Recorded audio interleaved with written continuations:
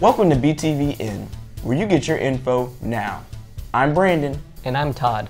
This show will cover the information you need to stay up to date on the latest happenings. For our first monthly episode, we have Facts of the Month, upcoming movies, county news, and awkward questions. Let's go over to Tyler with cool facts of the month.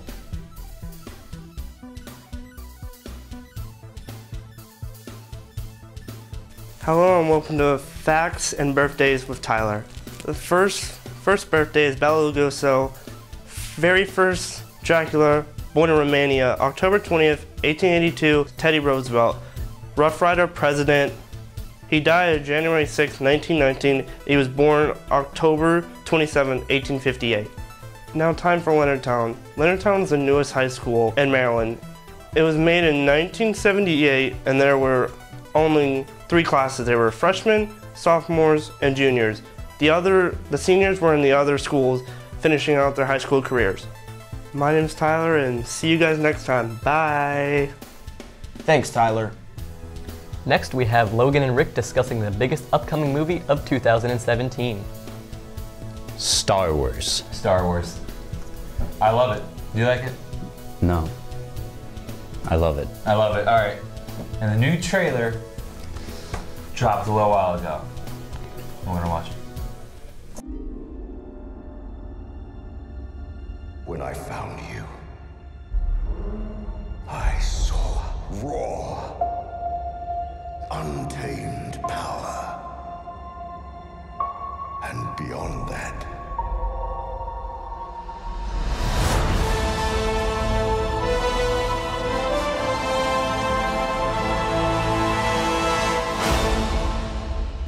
Wait, it says tickets available now?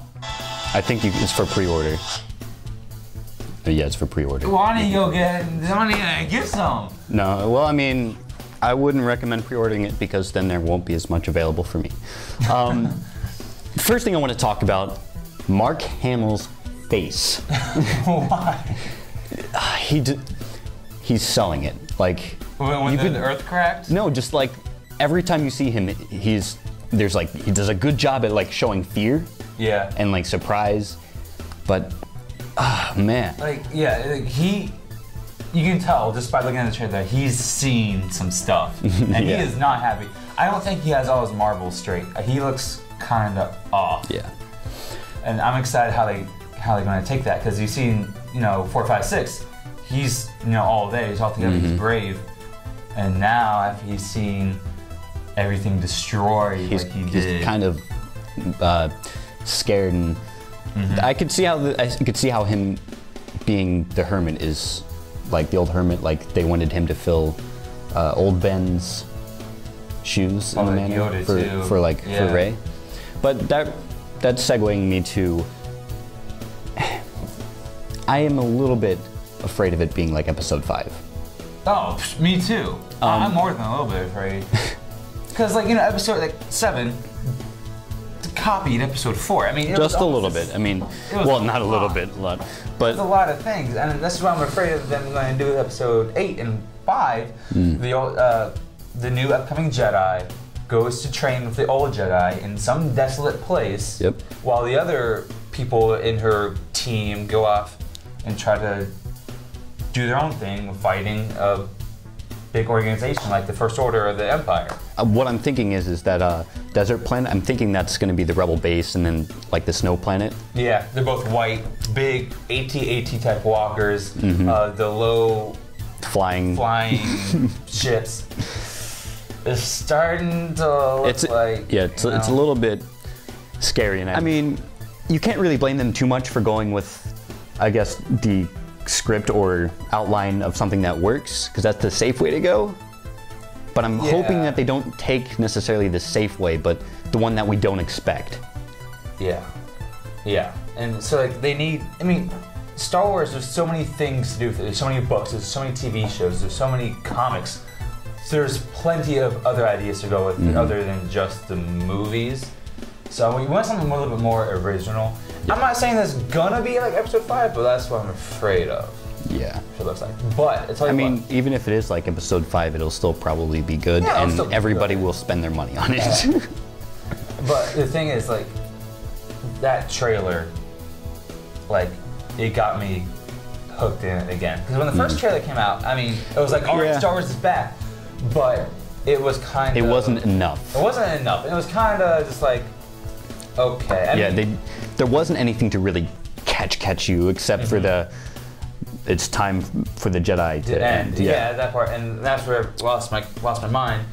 But I mean, I think everybody one- lost their yeah, mind. But this one, it shows you so, So much, much more. more. It shows you Finn's, you know, doing well. He looks like he's captured. He's fighting Phasma.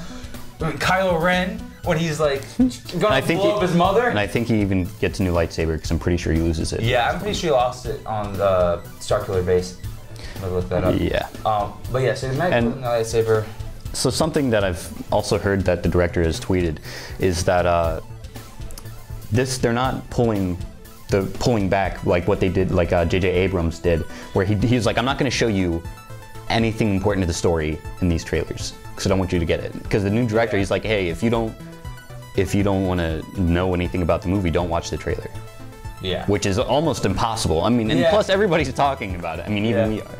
And I mean, it's hard. Yeah, it's hard not to watch it. But even if you do, it's not revealing too much either, which is Too always much, good. yeah. Hopefully. But uh, yeah, it shows you the parts that you want to see. It shows you, shows you the the space battles. It shows you the the tension between Kylo Ren and and it gives you the cliffhanger. Of, It's got some really good character as well, like character moments. Was like who? with Kylo Ren Oh, and Luke and some a little bit of Rey, not much of Rey. Much of Rey. Surprisingly enough, Rey really wasn't in this trailer that much. Well, yeah, she was like physically in it, but she wasn't really doing much. I mean, she had the lightsaber, and and at the end, we were like, she's a teacher, but everything else, she was just in there, not really doing much. But Could something. that be a problem? Well, Um, it's just a trailer. I, I don't really think so know. because I have a feeling that just like in episode five, she's only going to be there for maybe the first quarter. yeah. That's what I'm assuming. But something I'm really excited for, and I have a feeling they're going to throw it towards the end of the movie, is seeing Snoke in person. I'm so excited about He that. looks good. He does. Like you- see him like got like Rey in that hold or something. I don't know. And then I was like watching the trailer. I was like, that's actually him. It's not just a hologram. Yeah. That's actually definitely him. Him. And I'm like, And hmm, they yeah. they did good. They definitely did a really good job. All right, that's enough of Star Wars for now, and come watch us next time, and we'll show a new trailer. Thank you. Back to you guys. Thanks, Rick and Logan. Now let's head over to Preston and Todd for Great Mills High School Spirit Week.